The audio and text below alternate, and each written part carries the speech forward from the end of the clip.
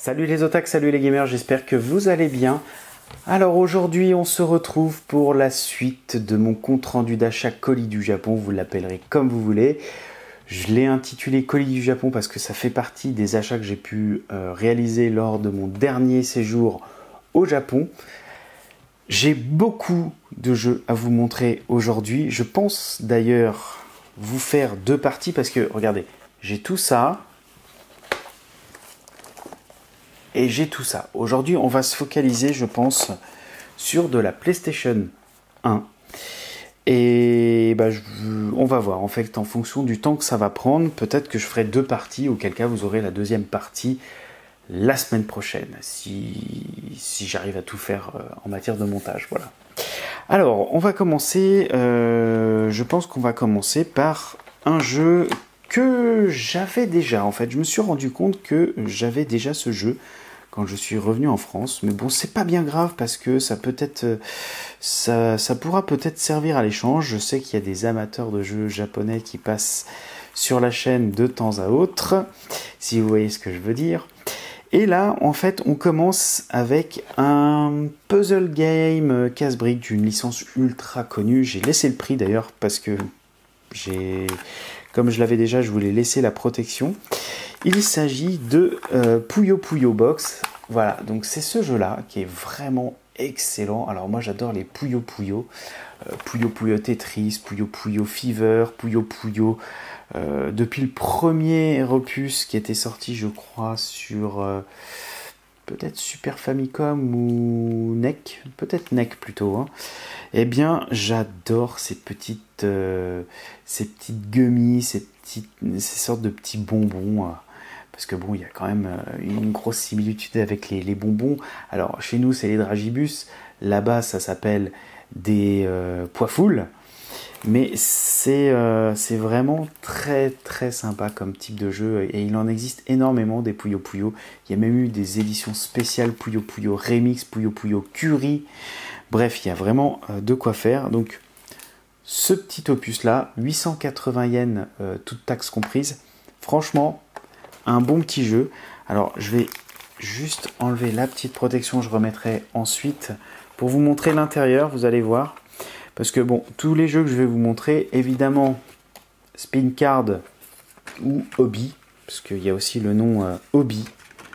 Euh, et d'ailleurs, si vous demandez dans les magasins japonais, vous pouvez dire Spin Card, mais si vous dites Hobby, ils vont plus facilement comprendre.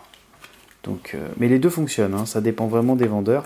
Bon, alors il y a la rec card, il y a même une deuxième rec card, c'est la première fois que je vois ça, il y a deux rec cards. La petite notice, alors ça fait très longtemps que j'ai pas ouvert ce, cette boîte là, et la petite notice que voici, avec des, euh, évidemment des explications, mais surtout des petites illustrations correspondant aux différents personnages euh, que vous pouvez choisir au cours du jeu, que ce soit en versus ou lors du mode histoire lorsque vous les affrontez. Et bien évidemment, ils ont euh, chacun leurs caractéristiques.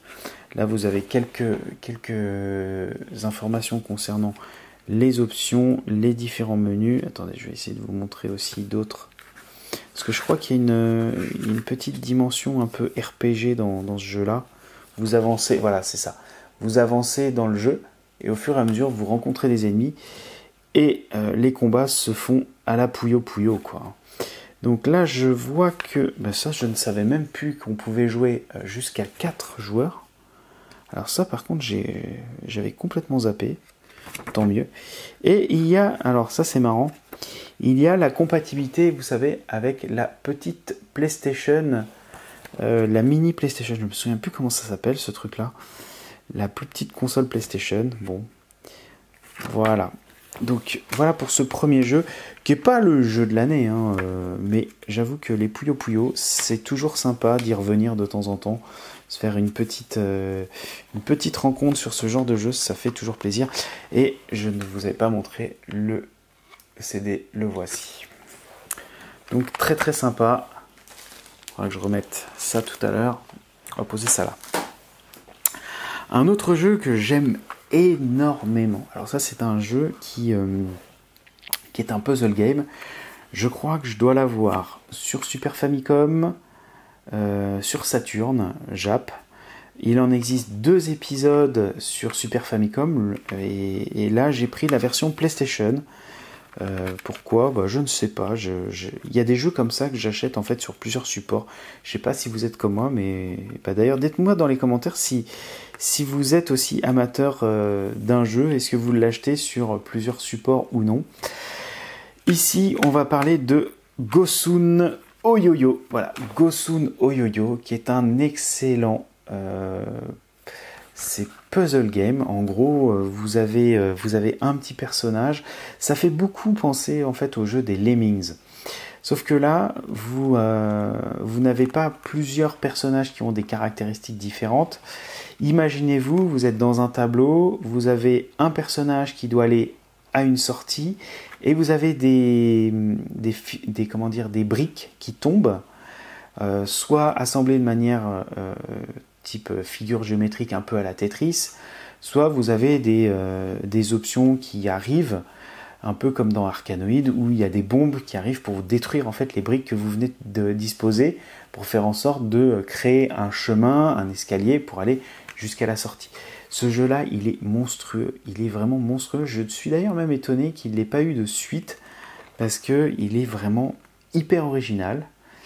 Il mange pas beaucoup de ressources et je crois qu'il y avait même eu à un moment un projet de le porter sur une version HTML5, donc directement jouable sur le web. Ça aurait été vraiment très très très très fun.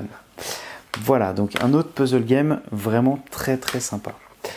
Autre jeu, alors là j'ai véritablement euh, craqué pour ce jeu-là, ça fait partie des jeux que j'aime beaucoup. C'est un jeu de combat, euh, je sais qu'il y a des amateurs de jeux de combat euh, qui passent aussi sur la chaîne de temps en temps. C'est un jeu de combat que j'ai cherché sans véritablement le chercher à fond. Et puis je suis tombé dessus au détour d'une des nombreuses boutiques que j'ai pu visiter, comme vous avez pu le constater dans mes différentes vidéos. Je l'ai trouvé à un prix super alors vraiment euh, dans un excellent état avec notice et spin card, voilà. C'est le euh, alors ça s'appelle Project Justice 2, je crois, euh, de par chez nous. Et alors en japonais, ça s'appelle Shiritsu Justice Gakuen Neketsu Seiseyun Niki 2. À vos souhaits. Voilà la gueule du euh, CD qui est vraiment très très sympa. J'aime beaucoup la, sérigraphie. Et concernant la notice, bah, c'est comme euh, ce que Capcom aime nous, comment nous produire, nous donner, c'est-à-dire des euh, Capcom, enfin des Capcom, non, des listes de coûts pour tous les personnages avec des mini artworks, voilà. Donc Projet Justice, il en existe deux. Celui-ci, c'est le deuxième épisode et je suis vraiment très très heureux de le rentrer dans la collection parce que ça fait partie des licences qu'on ne voit plus.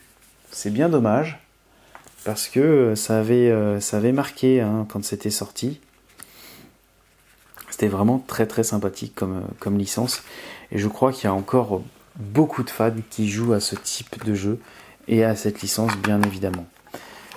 Vraiment, vraiment très très sympa. Très très sympa. Voilà l'arrière que je peux vous montrer au moins. Autre jeu, alors ça je, le dois en fait à, à la chaîne de Rorokun et de son frère Willow, euh, que je salue au passage, parce que lors de leur dernier voyage au Japon, je crois, ils se sont euh, procurés ces deux jeux-là que je vais vous présenter et qui m'ont véritablement tapé dans l'œil. Et très honnêtement, les prix étant euh, extrêmement, enfin, extrêmement accessibles, bah, je me suis dit pourquoi euh, s'en priver? Il s'agit en fait de deux jeux de combat. Donc il s'agit de Gundam The Battle Master 1 et 2. Voilà. Donc le premier, le voici. Donc euh, vous voyez, il y a encore le prix, hein. donc 300 yens. Je ne l'ai même pas ouvert. Donc on va essayer de l'ouvrir. Voilà, que je change les, euh, les petites euh, protections en plastique. Donc voici le jeu. Voilà. Donc la, jaquette, elle est pas, elle est pas, elle est pas extraordinaire. Là, il y a encore le, code barre qui a été collé sur, le, sur, la, sur la boîte. Et bah, il est complet, voilà, comme d'hab, hein, complet avec la spin card qui vient de tomber et la galette. Alors, je suis pas certain, honnêtement, qu'il y ait des artworks ultra intéressants pour un jeu de combat sur du Gundam. Ah, si, il y a peut-être des petites illustrations, vous voyez. Des petites choses sympas comme ça. Là, je découvre euh, véritablement en même temps que vous. Donc là, voilà. Ça, c'est cool. Du screenshot avec les personnages. Donc ça, c'est le premier épisode. Qui, euh, de ce que de ce qu'avait l'air de dire Rorokun et son frère, n'était pas, franchement, n'était pas indispensable comme jeu. Honnêtement, à moins de 2,80€, ça va, hein, le jeu. 2,80€ le jeu, c'est pas, c'est pas la mer à boire. Par contre, concernant le deuxième épisode, alors là, il est visiblement beaucoup mieux en matière de gameplay, de nervosité. Donc voici l'intérieur avec la galette et la spin card. On va essayer de regarder aussi la notice qui m'a l'air d'être un petit peu plus euh, fournie encore. Donc voilà. Et qu'est-ce qu'il y a à l'intérieur? Ben non, en fait, elle n'est pas mieux fournie du tout. Donc vous avez évidemment les coups, enfin les touches plutôt. Euh, l'interface, voilà. Mode histoire, mode versus, action. Donc là, vous avez les coups, si ils sont, ils sont disponibles. Et le roadster avec la spécificité des coups de chaque robot ou mecha au choix. Donc ça, c'est plutôt sympa. Très très content de l'avoir rentré dans la collection. Un état en plus impeccable. Donc ça, c'est plutôt top. On va pouvoir essayer ça très rapidement. Même si je vais reminter un peu la boîte parce qu'elle elle a subi quand même quelques rayures avec le temps. Autre jeu que j'adore et que j'ai, euh, je crois, oui, je l'ai d'ailleurs sur Saturn, mais sans que ce soit la version collector. Euh, j'avais déjà vu d'ailleurs la version collector et je vous l'avais présenté, euh, je crois que c'était dans un Super Potato, me semble-t-il. C'est le jeu de combat, encore un jeu de combat de chez Capcom. Ça, c'est la grande époque de Capcom CPS1. Euh, les jeux de combat, ils savaient vraiment faire des trucs d'enfer. Et là, c'est le Cyberbots Full Metal Madness, qui est un excellent jeu, je trouve, de combat, de versus fighting, qui est peut-être pas super nerveux parce que bon, les mechas sont quand même un peu, euh, il y a beaucoup d'inertie en fait dans leurs mouvements, mais je trouvais que les sprites de ces de ces mechas étaient vraiment à tomber par terre quoi. Donc là, voici, alors attendez, je vais le remettre dans le bon sens. Voilà. Voici le CD avec la spin card et la notice. Alors là, je vais essayer de vous trouver des illustrations parce que dans mon bouquin Capcom que je vous ai montré il y a de ça, il y a vraiment très longtemps, il y avait quelques illustrations de, ces mechas là. Et là, voilà, on en voit quelques-unes et ça c'est vraiment, vraiment excellent. J'avoue que ça c'est du Capcom de la grande époque. Voilà. Donc vraiment euh, un, jeu de, un jeu de versus fighting. regardez ça. Ça c'est vraiment chouette quand on voit ça. On a pu ça maintenant. On a pu ce genre de petites choses. Et ça c'est vraiment c'est vraiment cool. Ça fait vraiment plaisir que de retrouver en fait ce type d'illustration. Et surtout des notices. Voilà, voilà. Donc, donc Cyberbots, excellent jeu de combat de Capcom, voilà. Comme ceci. Et l'arrière que je ne vous ai pas montré, la voici. Combien de temps ça fait déjà pour la vidéo On est déjà au quart d'heure, donc je pense que je vais vous montrer encore un jeu. Et pas des moindres. Alors celui-ci, je crois que oui. Celui-ci, euh, je l'avais ramené également pour euh, Lovecraft, que je salue. J'imagine qu'il va regarder la vidéo parce qu'on parle de jeux japonais.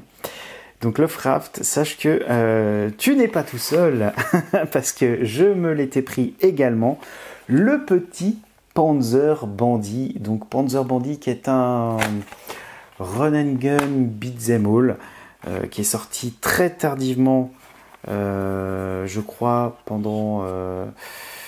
enfin très tardivement par rapport à la durée d'exploitation de la PlayStation 1. C'est un jeu qui pique un petit peu en matière de tarifs. Hein. Je, dois, vous le dire, contrairement aux autres, on va pas aller au-delà des, euh, des 2500 yens. Celui-ci euh, coûte quand même euh, largement plus cher, mais je le voulais.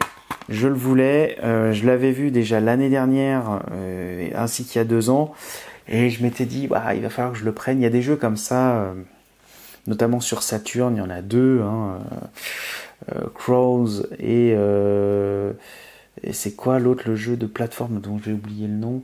Euh, C'est quoi? C'est Geeky Rush ou je me souviens plus avec le petit taxi, enfin un jeu de plateforme. Celui-ci, j'ai craqué. J'ai craqué parce que voilà quoi. Il y a des jeux comme ça, j'avais trop envie de l'essayer. J'avais trop envie d'y jouer. Et puis je me suis dit, à force d'attendre, bah le prix, déjà qu'il était euh, assez gratiné, bah, je voulais pas trop attendre parce que plus ça va, moins on en trouve. Ce type de jeu, en fait, commence à se faire un peu plus rare parce que, comme, il comme je vous l'ai dit, il est sorti en fin d'exploitation de la, console. Et euh, il n'y a pas eu autant de tirages que ça, puisque les, les, joueurs étaient déjà passés sur la PlayStation 2, la Dreamcast. Et là, là, il y a quand même de belles illustrations. Voilà. Ben, écoutez, j'espère que, euh, en tout cas, cette petite découverte de, jeu vous aura plu. Rassurez-vous, hein, l'épisode 2 va pas tarder à arriver. Hein. Au pire, ce sera, je vous ai dit, la semaine prochaine. Enfin, au mieux, la semaine prochaine. Je ne vais, pas, vous annoncer des promesses que je n'arriverai pas, à tenir. En tout cas, euh, belle, petite, euh, belle petite rentrée. Dites-moi ce que vous en pensez d'ailleurs dans les commentaires. Qu'est-ce que vous avez préféré Le, le Panzer Bandit, peut-être que vous le connaissiez déjà, le Cyberbots, euh, les, euh, les Gundam, voilà, 1 et 2, ou le, le Project Justice 2, à moins que vous ne soyez plus fan de Puyo, ce que je peux tout à fait comprendre, ou encore du Gosun Oyoyo. J'attends vos réactions dans la zone commentaire juste en dessous. Euh, n'hésitez pas à me dire ce que vous en pensez, ce que vous préférez, ce que, est-ce que vous êtes déçu d'avoir vu qu'une seule partie, alors qu'il y en a encore quand même beaucoup juste en face de moi. Euh, bon, je vais euh, je vais pas vous faire trop de teasing. Bref, j'attends vraiment vos réactions. Dites-moi ce que vous pensez de ces jeux-là. Que je peux vous dire, c'est que j'ai hâte maintenant de pouvoir y jouer. Petit pouce bleu, ça me fait toujours plaisir. Vous vous abonnez à la chaîne, vous, vous cliquez sur la cloche pour recevoir les notifications de la partie 2, mais aussi des autres vidéos. Moi, je vous dis à très bientôt pour de prochaines vidéos compte rendu du Japon, compte rendu du Japon, pardon, mais pas que. Allez, à ciao tout le monde. Jouez bien. Bye bye